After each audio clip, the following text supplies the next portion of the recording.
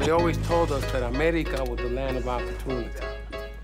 You know, but around my way, it seemed that the only opportunity there was was to either get shot or arrested, right? And oye, there's a new thing happening now. A black man has been elected president. There's a Puerto Rican chick in the Supreme Court. And I, like them, I want to make a huge change for our people.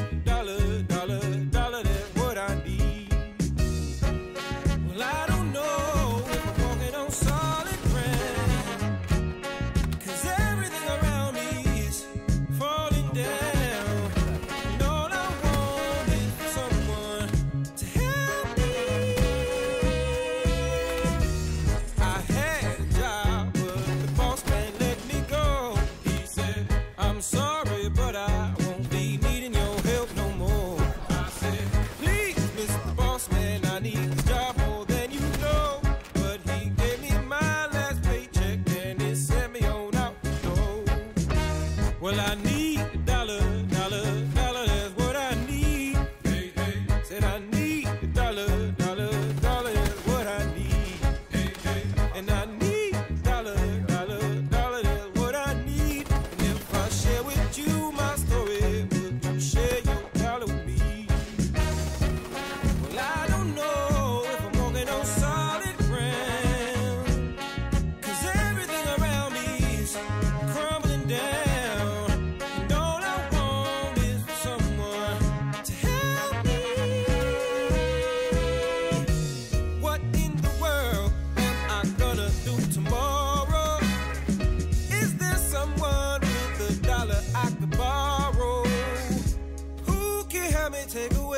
sorrow?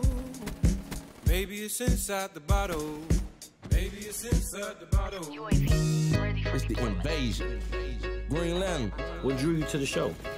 Well, I got the script, man, and I um, I just really liked how it represents the city, like no other show has. Like, um, you've seen a lot of shows based in New York, but you haven't seen the youth side of things, like you know, the twenty somethings, the people that come out here, focus on something, and. and and, and, want to be successful. You don't see that on television. And I think this show is, is the epitome of that from the ground up.